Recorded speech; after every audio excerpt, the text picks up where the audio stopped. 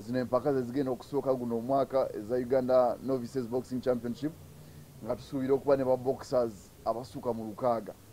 Clubs ziri makumi ane zigenda kukolera mu mpaka zino era tujja kubaako ne clubs ziringa mwenda ezigenda okukolera mu ubf select ezinaba kwewandiikisa so kikulaga nti mpaka zigenda kubeera extremely competitive ate nga entry point kuba abaana bagenda okuwangulwa ku novices bebagenda okuzanya ate ku intermediate so its a qualification uh, championship mu kalenda yaffe.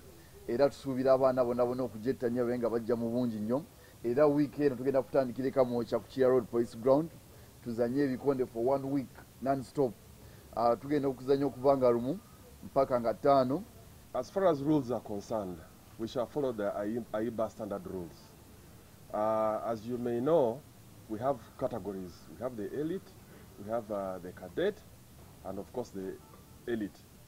Now, what we shall do is we shall aggregate. Every, every, every category will have uh, a, a standard aggregate system.